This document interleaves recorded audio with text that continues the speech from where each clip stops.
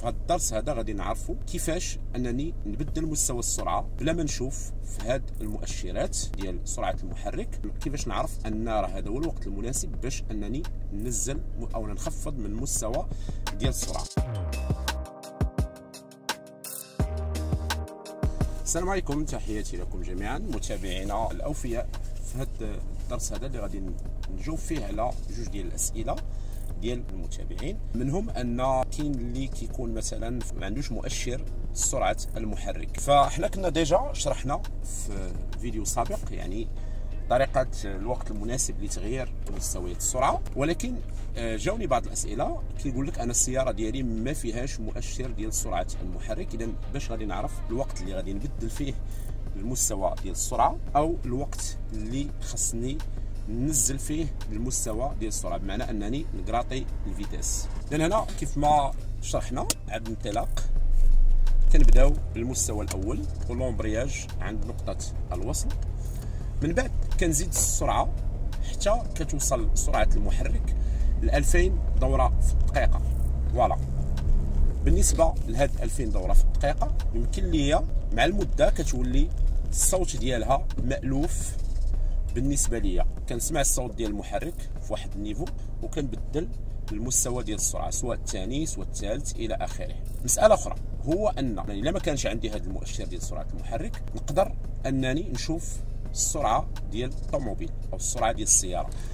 مثلا في المستوى الأول كيف ما غتلاحظوا هنايا ملي غيوصل سرعة المحرك ل 2000 دورة في الدقيقة سرعة السيارة غادي توصل ل 20 كيلومتر في الساعة تقريبا. ثم كنبدل المستوى الثاني وكذلك بالنسبة للمستوى الثالث فاش كنكون في المستوى الثاني؟ كنزيد في السرعة. حتى كتوصل سرعة المحرك ل 2000 دورة في الدقيقة بينما سرعة السيارة كتوصل 36 كم في الساعة حتى 40 كم في الساعة. ومن بعد كنبدل المستوى الثالث من السرعة. ونقدر نعتمد كذلك على صوت المحرك لأن الصوت ديال المحرك كيختلف من السيارة الأخرى. داكشي علاش انت السيارة ديالك راه كتكون عارف الصوت ديالها وعارف المستوى اللي كتوصل ليه ل 2000 دورة في الدقيقة. هذه بالنسبة لما كانش عندك الكونتور ديال سرعة المحرك كتعتمد على صوت المحرك أو لا على سرعة السيارة. بالنسبة للمستوى الرابع كذلك كتوصل سرعة المحرك ل 2000 دورة. كتوصل سرعة السيارة تقريبا 56 حتى ل 60 كيلومتر في الساعة ويمكن لك تبدل المستوى الرابع. بالنسبة للمستوى الخامس كتوصل سرعة السيارة تقريبا ل 80 كيلومتر في الساعة وكتبدل المستوى الخامس. والمستوى السادس إذا كان عندك في السيارة ديالك حيت كاين طوموبيل اللي كيكون فيها السيزيام فوق 100 كيلومتر في الساعة يمكن لك تبدل المستوى السادس. وهنا أنا كنهضر على السياقة الاقتصادية لأن ملي كديباسي 2000 دوره في الدقيقة 2500 أو 3000 دوره في الدقيقة عاد باش كتبدل في المستويات ديال السرعه هنا كيولي عندك واحد استهلاك كبير في الوقود تقدر توصل حتى ل 50% هذا بالنسبة للتغيير ديال المستوى ديال السرعة. دابا غادي نشوفوا ملي نبغي نقراطي الفيتاس أو لا نبغي نخفض من مستوى السرعة بلا ما نشوف مؤشر ديال سرعة المحرك أو لا بلا ما نشوف مؤشر سرعة السيارة. ملي كنكون غادي للمستوى الثالث وبغيت نخفض المستوى الثاني كنحط رجلي على الفران كتهبط سرعة المحرك على 1000 دورة في الدقيقة وكذلك سرعة السيارة على 30 كيلومتر في الساعة. كنخفض المستوى الثاني. قلنا سرعة السيارة تهبط على 30 وسرعة المحرك تهبط على 1000 بينما إلا بغيت ما نشوفش في المؤشر أو لا كان المؤشر ديال المحرك ما عنديش أو لا ما بغيتش نشوف سرعة السيارة. فباش كنعرف بأن خصني نخفض من مستوى السرعة يعني خصني نقراطي ال vitesse سواء ال deuxième أو لا troisième. هادشي كامل غنشوفوه بالتجربه إن شاء الله. أنا غادي بالسرعه ديال 60 كم في الساعة حاليا وبغيت نخفض مستوى ديال السرعة ال troisième فاش غنحط رجلي على ال frein غتهبط سرعه السيارة على 50 كنرجعها troisième أولا في حالة أخرى مثلا نقدر أنا غادي تروازيام وبغيت نخفض من المستوى ديال السرعة الثاني. أشنو غادي يوقع؟ فاش غادي نحيد الكسيراتور مرة وغتهبط سرعه السيارة على 30 وسرعة سرعة المحرك على 1000 كنبدأ نحس بالسيارة أنها بدات كترعد بيا.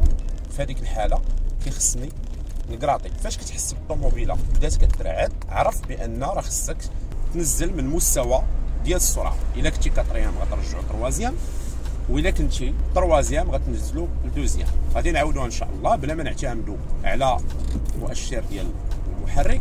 مثلا أنا troisième لاحظوا أنا غنشد ال frein. دابا الطوموبيل عادي. واحد اللحظة غتهبط سرعة المحرك على 1000 بدات كترعد. ما عرفتش واش حسيتوا بها ولا لا ولكن في هذه اللحظة ملي بدات كترعد الطوموبيل كتقول لك بأن راه خصك تنزل مستوى السرعة. نقدر أنا مركز مع الطريق وما غاديش نشوف ال compteur غنعرف بأنني غنقعد. وهذه هي الطريقة اللي تقدر تساعدك أنك تبدل مستويات السرعة أو تخفض من مستويات ديال السرعة بلا ما تحتاج للمؤشر ديال سرعة المحرك أو المؤشر ديال سرعة السيارة. بارك دوز. voilà. دابا أنا هذا الموقف هذا كيوقع آه، بزاف هنا في الدار البيضاء لأن كتشوف الراجلين ما أن السائقين يعطيهم الاسبقيه انت ملي كتوقف شي واحد باش يقطع كيقول لك واخا يكون وسط الشانطي كيرجع كيرجع وكيقول لك آه، لا دوز انت. فهمتي ولا لا؟ لا لا والله تدوز والله تدوز. حنا دابا آه، هاد الثقافة ديال الأسبقية ديال الراجلين ماشي غنقول لك منعدمه ولكن قليلة بزاف. علاش؟ لأن كتلقى الراجلين ما كيقطعوش في المكان المناسب ما كيمشيش فوق الرصيف. ولا كان قاطع ما كيقطعش بواحد الطريقة عرضية ولا ما كيقطع طول. بحال هكا كيقطع طول وكيعرقل السير وحتى إلا كانت عنده هو الأسبقية وكتوقف ليه سواء كان قاطع ماما الراجلين ولا ما قاطعش ماما الراجلين راه خصك توقف ليه. علاش؟ لأنه هو لا كان بعيد عليه ماما الراجلين بواحد 50 متر راه عنده الحق أنه يقطع. d'accord أنت كسائق كيخصك أنك توقف وتعطيه الأسبقية لأن هذاك الراجل راه قانونيا خاصك توقف ليه voilà. وحتى الراجلين يعرفوا بأن مثلا إذا كانت الطوموبيله قريبه ليه بزاف يحاول ما يقطعش هذيك اللحظة. آه، خل... مازال كانت بعيدة واخا يقطع باش يخلي لهذاك السائق أنه يوقف ليه و يفراني على مسافة ما يفرانيش فران بالجهد باش ما يضربوش هذاك اللي وراه. فوالا. وبالتالي غادي نتفاداو بهذا السلوك هذا غادي نتفاداو آه واحد النسبة كبيرة ديال حوادث السير. وطريق السلامة للجميع.